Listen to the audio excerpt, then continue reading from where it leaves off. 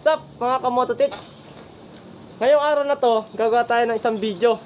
Isang video na to, ito yung una na video yung gagawin ko. Unang video na ipopost ko sa YouTube.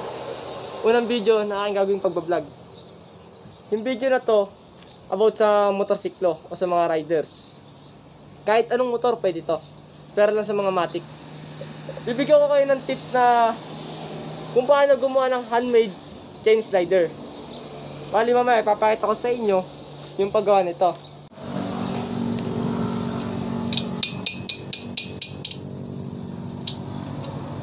Kailangan natin guys is yung chain slider niya para hindi maingay sa swing arm. Meron ako nakitang gamit na pinagpalitan lang ng gamit ng kapatid ko sa kanyang kotse yung pambelt sa aircon. Ayan o. Tsaka apat na wire strap.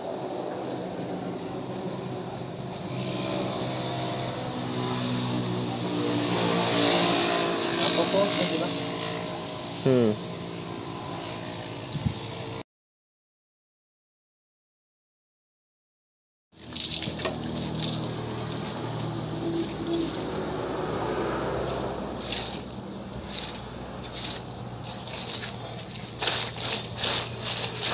Guys, simulan na natin ang paggawa. Ha? Ay.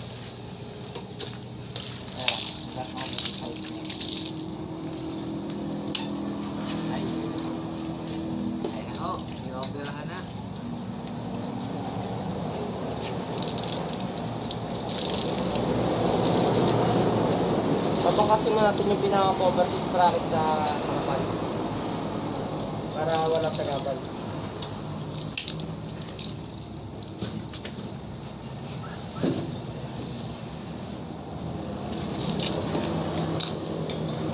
Then, sukat natin yung pamphlet.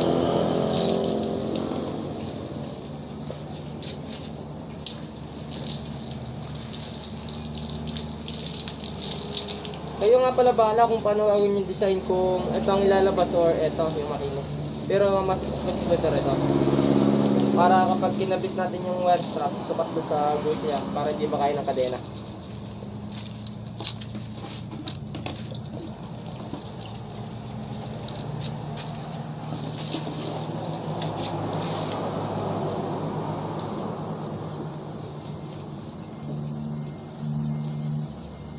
Bali guys, yan, naisusukat na natin.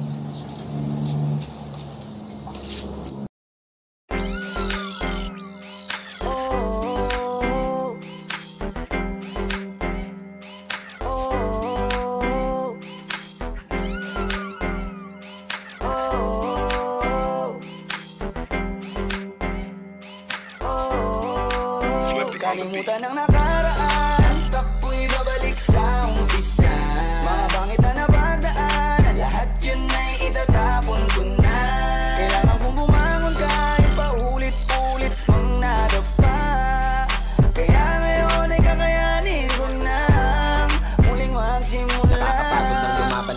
gusto kong takasan ng madaya na mundong mapaglaro. Lumipat kung saan pa pwedeng ilabas ang tunay na ako. Nang walang pangamba at takot na baka ako mabigo. O baka biglang magkamali ako, madapa ulit Pero mas naisip ko na tumayo ulit. Pagigihil ng sarili kong magsimula ulit. Di natakot pagtawa nang ilalabas na ang kulit Sa bagong pahina tapos na kong magpahinga. Handa na kong magsimula, di natakot mapahiya. Hatakin man ang tadhana, babalik sa umpisa Taas noong lalakad. Papunta sa bagong Kalimutan simula. ang nakaraan Takbo'y babalik sa umpisa Mga pangit na napagdaan Lahat yun ay itatapon ko na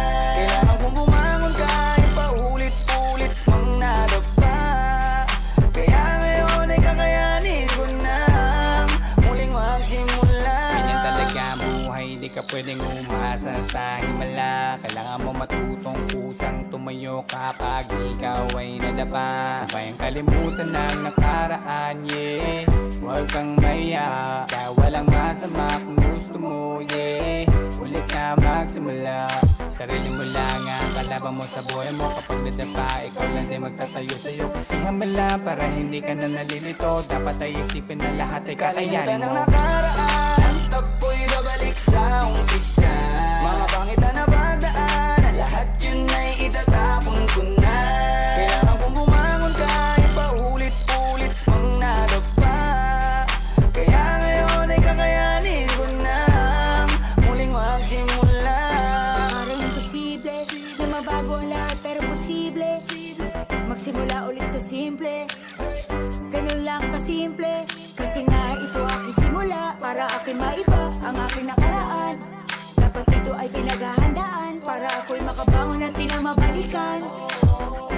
Ang mga araw Na may sugat na malalim at mababaw Nababago to sa akin balang araw. Kasiyahan ko naman ang umaapaw. Kalimutan ang nakaraan Takbo'y babalik sa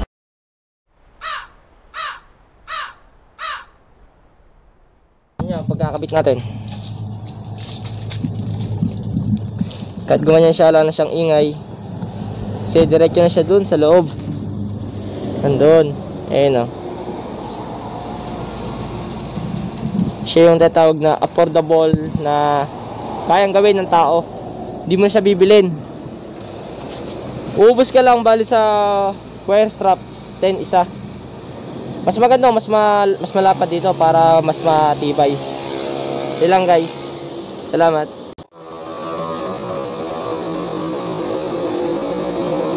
Ayan guys, tapos na ang ating project. Ayan, kakatukin ulit natin kung tutunog para alam nyo na pag tumatakbo kung tutunog ko siya o hindi. Ayan, tunog goma na siya, hindi na siya yung maingay na parang yerong ganito. Tulad nito, kuha tayo ng bato. Hari, bato! Saan bato? Kasama ka na ngayon sa ano. Yan, ang bato. Ang tunog kanina is ganito. Ganyan yung tunog kasi nga bakal. Wala pa na itong goma. Ang ngayon, ang tunog nito mo, ito yung bato ha, na isipin mo parang kadena. Pag tumatakbo ka at maluwag kadena mo, gumaganyan yan. Ngayon naman, nalagyan natin itong chain slider. Ngayon, testingin natin. Tunog goma na siya, di ba? Galing ano. Salamat! Ngayon nga guys, tapos na ang ating pagbibideo. Sana may natutunan kayo sa video na upload ko. At kung bago kayo sa YouTube channel ko, pakipindot na subscribe at notification bell para lagi kayo updated sa mga video ko ipapakita o isi-share sa lahat. Yun lang naman para sa akin ang kaalaman ko para sa inyo din. Salamat. Sana mag-trial sa susunod. Thank you.